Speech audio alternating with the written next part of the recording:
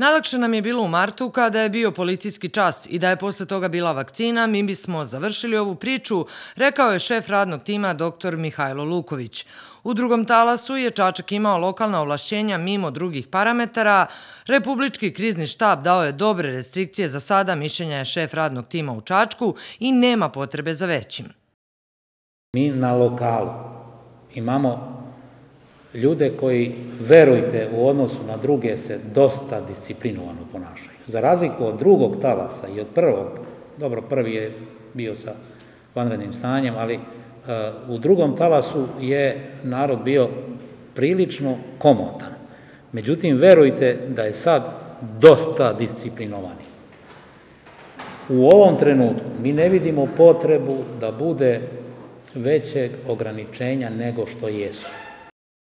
Kako objašnjava, nema potrebe da se ide, kako je rekao, ispred Republike i izaziva gnev kod naroda. Setite se komentara u prvom talasu, zatvaraju nas. Nismo mi geto, nismo mi robijaši. Znači, kako god da uradite, jedan deo ljudi je za restriktivnije mere, jedan deo ljudi je za manje restriktivne Dr. Luković je rekao da se realno procenjuje situacija i epidemiološka, ali i finansijska. Ali morate da shvatite da privreda mora da radi. Mora da se živi od nečega. Ljudi dolaze na ivicu opstanka. Nije to tako jednostavno.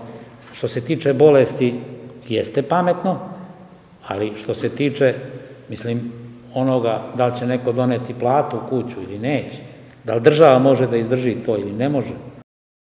Ako dođe do neke kritične situacije, kako ističe dr. Luković, radni tim je spreman da reaguje, ali prema njegovom mišljenju u ovom trenutku za tim nema potrebe jer situacija nije dramatična.